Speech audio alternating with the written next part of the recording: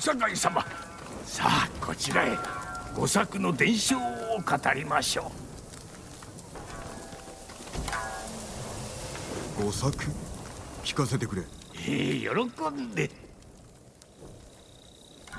二桃と瀬と磯路も前。赤島の族徒党を組みて対馬に害をなせり。その自分対馬の御作なる百姓物の符の亡霊の呼びたるを聞いていずれば屍の見事なる甲冑を作るを見いで麗しきに惹かれて鎧をかすめぬ。いややあって賊は御作の村に至れり戦わずばある限りを奪い取られんと悟りて御作は鎧を身につく。賊の打ちかかりてきたるに御作恐れて手が震え「あ死なん!」と思う時賊の剣を鎧がはじき御作はたじろぐこともなし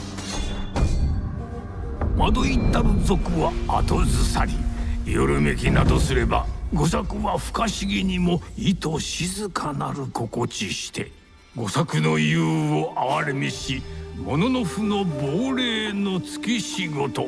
刃を振れば手早なり。あらゆる賊を切り捨てる。その後は賊を見る者なし。後の年御作死して裏の家々鎧をば秘蔵して情をかけそれぞれが鍵一つを持ちて守る。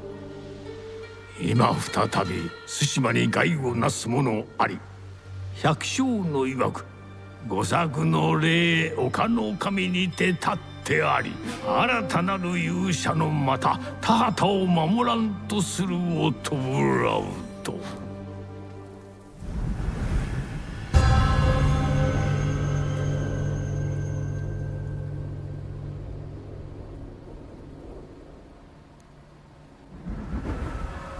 鎧は隠されたままか？ですが猛虎が動いております。里を襲っては鍵を求めているとか。どの集落に鍵があるのだ？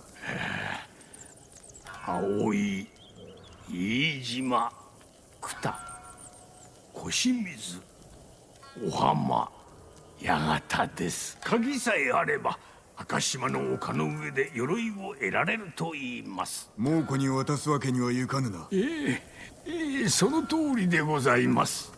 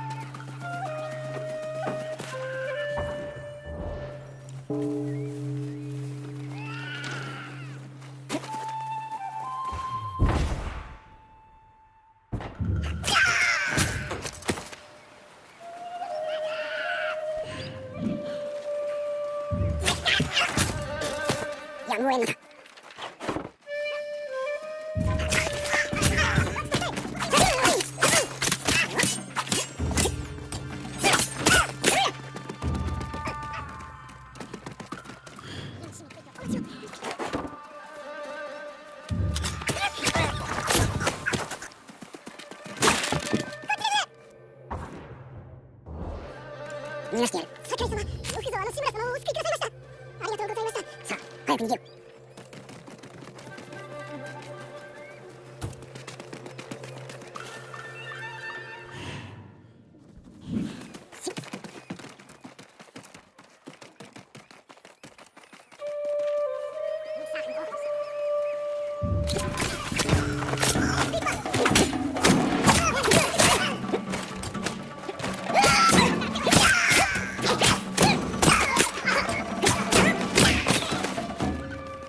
待たせてしまったな。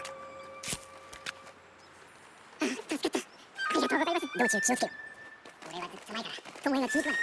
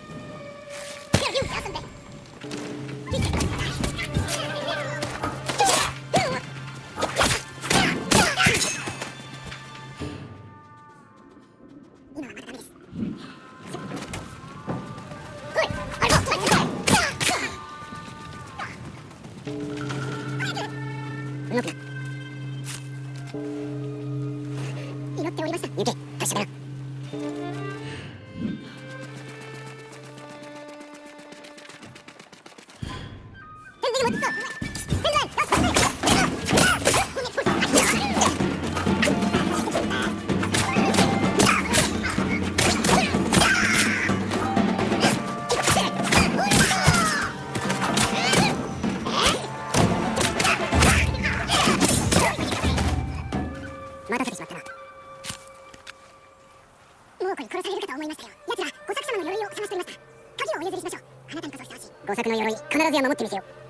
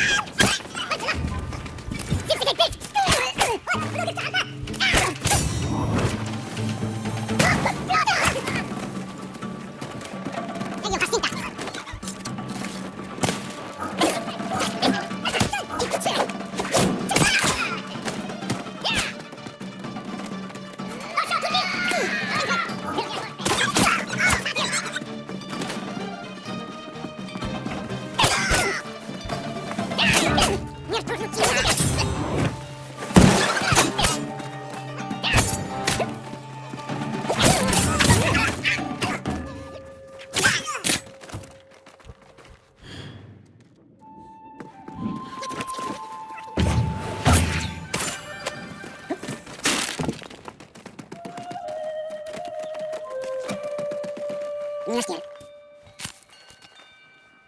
の鍵をお持ちください。役に立ちましょう。作の鎧を見たこと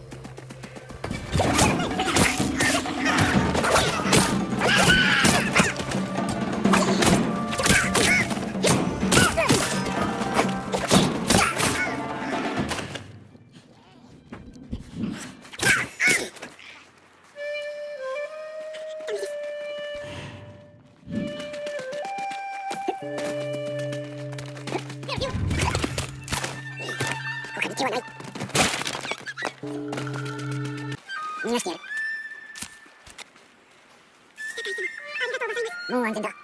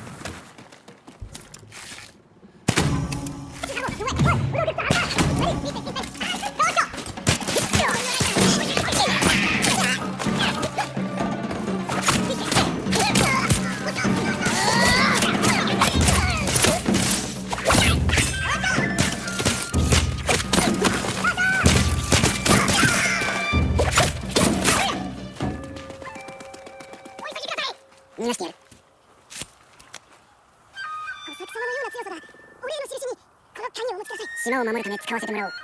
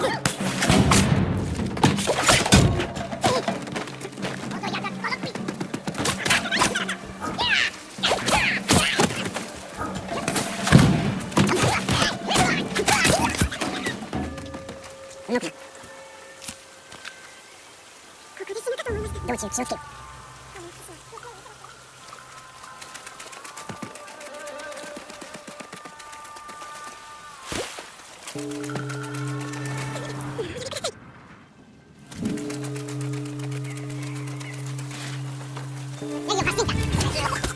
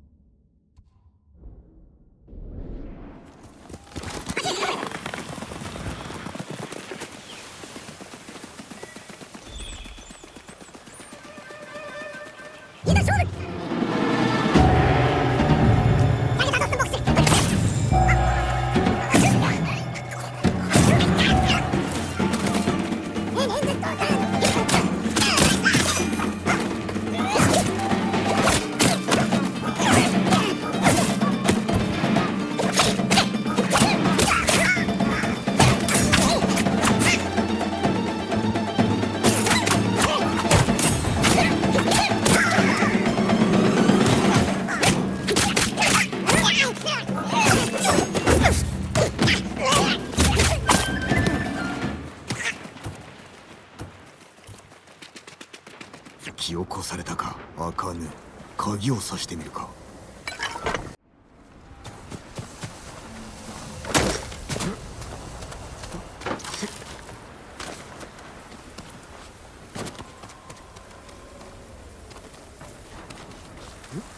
お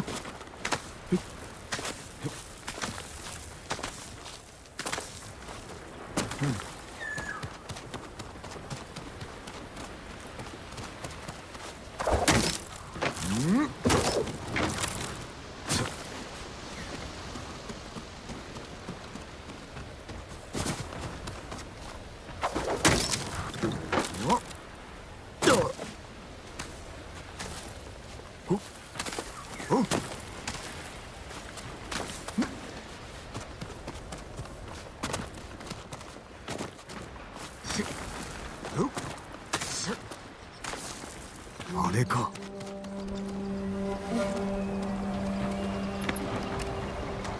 作の鎧噂通りか猛虎で試してみるか。